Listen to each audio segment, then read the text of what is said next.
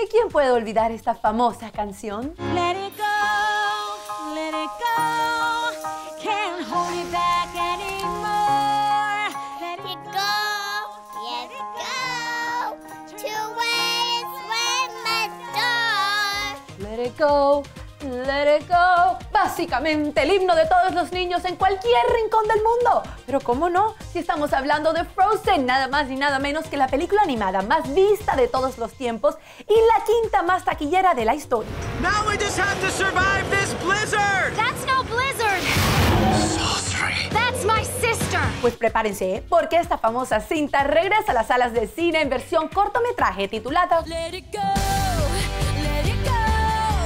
En ella veremos el cumpleaños de la princesa Anna, la hermana de Elsa, y esta vez Kristoff y la reina Arendelle se embarcarán en una aventura para celebrar el gran día de Anna, con una fiesta que tendrá un desenlace inesperado.